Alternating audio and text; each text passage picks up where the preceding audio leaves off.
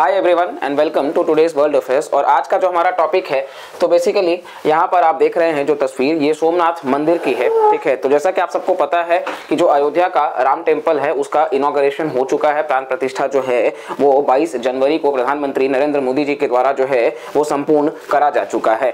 और आपको पता होगा कि किस तरीके से भव्य तैयारी करा गया और मतलब किस तरीके से इतिहास गवाह रहे, इस तरीके से चीज़ों को ऑर्गेनाइज करा गया। और मतलब पूरा देश आप देखोगे तो कहीं ना कहीं जश्न मनाया है पूरा का पूरा भारत।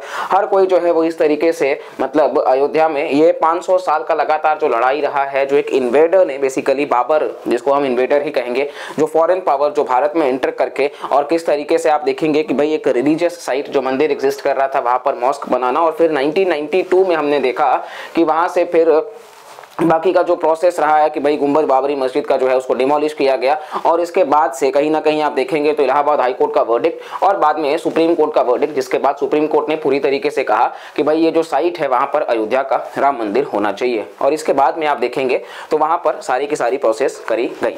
अच्छा अब इन सब के बीच में कहीं ना कहीं जो यहाँ पर चर्चा रहा है, आपको पता है कि भाई अपोजिशन पार्टीज़ जो है, उनका काम है। देखिए, जब भी जो रूलिंग पार्टी करेगी, वो हमेशा अपोज करेंगे। लेकिन इस लेवल पे अपोज करेंगे कि भाई एक लिमिट होता है, एक दायरा होता है। अब यहाँ पर आप देखेंगे तो अपोजिशन पार्टीज़ जो हैं, उन्होंने ये कहा कि प्रधानमंत्री क्यों कर रहे हैं? यहाँ पर राष्ट्रपति को करना चाहिए, ठीक है? तो इस तरीके की तमाम बातें निकल करके आई और इन सब बातों को हम डिस्कस करेंगे कि भाई हिस्ट्री में हम आपको लेकर के चलते हैं। ये सोमनाथ मंदिर है और ये माना जाता है कि बेसिकली भगवान शिव का सबसे पहला जो ज्योतिर्लिंग है, बारह ज्योतिर्लिंग में से एक, वो यहाँ पर स्थित है, ठीक है? इसी के साथ साथ में ये आप देखेंगे तो भगवान कृष्ण भी अपने अंतिम जर्नी में जो है, वो यही सोमनाथ मंदिर से रहे हैं।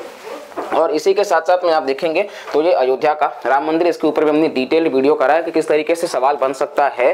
तो अगर आपने वीडियो नहीं देखा है तो आप उस वीडियो को भी जाकर के चेकआउट करिएगा। हालाँकि चीफ आर्किटेक्ट इसके जो है, वो चंद्रकांत सोमपुरा है और इसके जो मंदिर के मतलब जो मूर्ति है, उसका जो स्कल्पटर है, वो अरुण योगी राज है। इस तरीके से भी आप ध्यान रखेंगे। Nagara style of temple architecture है और अयोध्या जो है, वो सरयू रिवर पर स्थित है। एक समय में कोसला डायनेस्टी की भी ये राजधानी हुआ करती थी। अब इसी के साथ साथ में अगर हम देखें तो बेसिकली यहाँ पर एक आर्टिकल हमने लिया है रेफरेंस के लिए, जो बेसिकली बताता है कि a brief history of the temple Somnath का and why Nehru opposed the president उस वक्त के प्रेसिडेंट जो राजेंद्र प्रसाद भारत के पहले वो राष्ट्रपति इनोग्रेटिंग इट अब ये क्या हुआ? ऐसा क्या हुआ कि भाई नेहरू जो है, वो यहाँ पर उन्होंने राजेंद्र प्रसाद जी को जो है वो अपोज करा है। तो इसके बारे में हम यहाँ पर जानेंगे। ठीक है? तो इस तरीके से आप देखेंगे कि भाई बेसिकली उसी पॉइंट को यहाँ पे रिलेट की इनोग्रेशन वाली सारी बातें। अब सोमनाथ, आपको पता है कि बेसिकली ये गुजरात का जो जूनागढ़ है, उसका हिस्सा हुआ करता था। और आज़ाद भारत में आपको पता है कि जब भारत देश आज़ाद हुआ तो जूनागढ़, हैदराबाद, कश्मीर, ये वो टेरिटरीज थे जो भारत का हिस्सा नहीं बनना चाह रहे थे इनिशियली और जूनागढ़ को बाद में जब मर्ज किया गया, एक समय में जूनागढ़ पाकिस्तान का हिस्सा बनना चाह रहा था, उसके जो राजा थे। लेकिन जब कहीं ना कहीं मिलिट्री का डर उनको लगा तो राजा तो भाग गए पाकिस्तान। और इसके बाद में आपको पता है कि भाई, जूनागढ़ जो है वो भारत का हिस्सा बन गया। सरदार पटेल का इसमें इमेंस कंट्रीब्यूशन रहा है और रेफरेंडम से उसको भारत का हिस्सा बनाया गया। अब इसी के साथ साथ में आप देखेंगे कि फिर वहाँ से जो है बेसिकली हिंदू पिलग्रिमेज का ये बहुत इंपॉर्टेंट एक रहा है सोमनाथ और इसी के साथ साथ में मंदिर जो है वो निर्माण करा गया। और मंदिर निर्माण के बाद में आप देखेंगे तो जब मंदिर निर्माण चालू हुआ था तो सरदार पटेल जो हैं बेसिकली उनका निधन हो चुका था बीच में ही। तो इसीलिए लोगों ने जो मतलब इनविटेशन था, वो प्रेसिडेंट राजेंद्र प्रसाद जी को दिया, जो वो स्वीकार कर लिए थे। और जिसके अपोज में नेहरू जी ने कहा कि आप ये क्या कर रहे हैं? बेसिकली कहीं ना कहीं देश में अनएम्प्लॉयमेंट पावर्टी इन्फ्लेशन ये सभी टॉपिक्स हैं जिस पर बात करना चाहिए, जिस पर आपको ध्यान देना चाहिए। और यही वो टॉपिक है जहाँ पर हम बात करेंगे और आर्टिकल से आप समझने की कोशिश करेंगे कि बेसिकली ये सारी बातें हमने देख ली हैं। अब हिस्टोरिकल अकाउंट्स की हम बात माने तो इस टेंपल टेंपल पर सेवरल अटैक्स हुए हैं, जैसे कि मोस्ट डैमेजिंग जो है वो Mahmud of Ghazni in 1026 common era ये आपको ध्यान रखना है कि महमूद ऑफ़ गजनी जो है बेसिकली वो एक इन्वेडर रहे हैं इस मंदिर के ऊपर। बाद में आप देखेंगे तो not all Muslim rulers opposed it historian Romila Thapar जो है, उन्होंने अपने किताब Somnath the many voices of history देखिए, कभी भी आप मेन्स का आंसर लिखें तो इस तरीके से आप लिख सकते हैं कि हिस्टोरियन रोमिला थापर की किताब है। Somnath the many voice of history उसमें वो लिखती हैं कि सिक्सटीन सेंचुरी में अकबर जो है, उन्होंने परमिट करा था वर्शिप ऑफ़ द लिंग जो भगवान शिव का जो लिंग है in the Somnath temple and appointed officers to administer it तो अकबर काफ़ी न्यूट्रल रहे हैं, हमको पता है रिलीजियस में। तो कहीं ना कहीं यहाँ पर तो वो काफ़ी बेहतर ढंग से लेकर के चले। इसके बाद आप देखेंगे तो अबुल फजल ने भी बताया है कि वो क्रिटिसाइज हालाँकि नहीं करते हैं महमूद ऑफ़ गजनी को। वो डिस्क्राइब करते हैं टेंपल रेड को as the plunder of the virtuous कि ठीक है, जो हुआ वो मतलब लिखा हुआ था, होनी को कोई टाल नहीं सकता। इस प्रकार की बात है। अबुल फजल यहाँ पे क्रिटिसाइज करने से बच रहे हैं।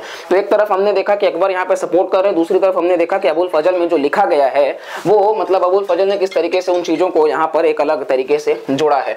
इसी के साथ साथ में आप देखेंगे तो बेसिकली आपको देखने को मिल जाएगा कि कितनों का यहाँ पर जो है वो ब्लड भी लाइफ देखने को आपको मिलेगा। तीन जनरेशन के बाद औरंगज़ेब जब आते हैं तो वो ऑर्डर देते हैं कि डिस्ट्रॉय करो आप। और इसी के साथ साथ में आप देखेंगे तो फर्दर ये ऑर्डर को आगे बढ़ाते हैं सत्रह सौ छह बेसिकली जहाँ पर फिर इस तरीके से मॉस्क बनाने के बाद में मतलब जैसे ही औरंगज़ेब सत्रह सौ सात में वो मर जाते हैं, उसके ठीक पहले जो है वो यहाँ पर मंदिर को हटा करके और फिर मस्जिद का जो है वो निर्माण करवाते हैं कन्वर्जन इंटू अ मॉस्क ठीक है? तो इस तरीके से आपने देखा कि भाई किस तरीके से चीज़ों को यहाँ पे हटाया गया है, ठीक है? मंदिर, मस्जिद और फिर अब इसके बाद में आप देखेंगे तो ग्रेजुअली चीज़ें जो हैं वो सत्रह सौ बयासी में मराठा क्वीन अहिल्याबाई होलकर जो हैं, वो स्मॉल टेंपल उस साइट पर बनाती हैं और फिर टेंपल जो है, वो इस्लाम धर्म में वो मानते हैं कि भाई मतलब हिंदूज जो हैं basically Islam excesses on Hindus ऐसा माना गया कि, और उस वक्त ब्रिटिश गवर्नर जनरल जो थे, वो एलन बोरॉफ थे। एलन बोरॉफ को ये लगा कि भाई, इस्लाम का जो है, वो मतलब अत्याचार कर रहे हैं हिंदूज के ऊपर इस तरीके से। और 1842 में ब्रिटिश आर्मी सफ़र की थी हैवी लॉसेस अफ़गानिस्तान के एक्सपीडिशन में।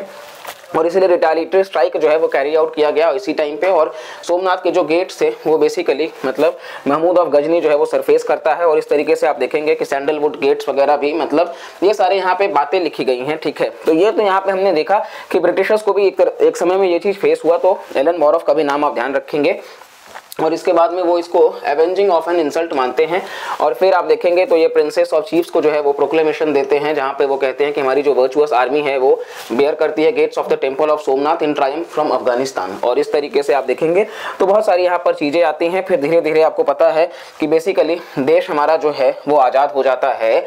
और फिर जब वो देश हमारा आज़ाद हो जाता है तो इसके बाद में ये डिसाइड होता है कि ये सरकारी पैसे से नहीं, लोगों के कॉन्ट्रीब्यूशन से मंदिर का निर्माण कराया जाएगा। और फिर लोगों के के कंट्रीब्यूशन से मंदिर का निर्माण हुआ। सोमनाथ सरकार जो उस वक्त थी बेसिकली वहाँ पर स्थित तो उन्होंने भी पाँच लाख का योगदान जो है वो दिया। और इसके बाद में के एम मुंशी, और इस तरीके से आप देखेंगे ये सारे जो रहे हैं, वो इसमें साथ निभाए हैं। और इसी के साथ साथ में आपको पता है कि बेसिकली बाद में जब इनविटेशन दिया गया, मंदिर तैयार हो गया तो राजेंद्र प्रसाद जी जो हैं, उन्होंने स्वीकार जब कर लिया तो नेहरू जी ने इस प्रकार की बातें रखी कि भाई आपका ध्यान जो है वो किन्हीं और चीज़ों पर होना चाहिए, ना कि ऐसी चीज़ों पर। और इसके बाद में राजेंद्र प्रसाद जी जो हैं, वो उनकी बात नहीं सुनते हैं और वो बिल्कुल जाते हैं। तो ये पूरा का पूरा कहानी रहा है कि किस तरीके से यहाँ पर हिस्ट्री में भी आपने देखा होगा कि ये जो इवेंट है, वो बहुत इंपॉर्टेंट हो जाता है। नाव सोमनाथ टेंपल जो है, वो कहीं ना कहीं काफ़ी इंपॉर्टेंट हो जाता है प्रिलिम्स के परस्पेक्टिव से भी। तो आपको उसके बारे में भी पढ़ना है। ठीक है, कहीं ना कहीं वो आपको ध्यान रखना है कि सोमनाथ मंदिर से भी जुड़ा हुआ अगर सवाल आता है तो आपको वो गलत नहीं करना है। और साथ साथ में आपको हम यहाँ पर ये समझाने की कोशिश कर रहे हैं कि देखिए, ये चीज़ें जो है वो अभी करंट में है और किस तरीके से हम इसको हिस्ट्री में रिलेट कर रहे हैं। तो ये आपको ध्यान रखना है, ठीक है? बाकी की यहाँ पर साथ साथ में जो भी पॉइंट्स हैं, वो भी हमने डिटेल में डिस्कस करने की कोशिश करी है। और इसी के साथ साथ में आपको वीडियोस हमारे पसंद आ रहे हैं तो प्लीज़ लाइक करिएगा। वीडियोस को पूरा देखा करिए, ताकि आपको भी एक अंडरस्टैंडिंग समझ में आ सके कि हम क्या बताने की कोशिश कर रहे हैं। और चैनल पर और भी डिटेल्ड वीडियोज़ हैं तो आप जाकर के चेकआउट करते रहिएगा। और मिलते हैं अगले वीडियो में, तब तक के लिए बाय टेक केयर एंड जय हिंद।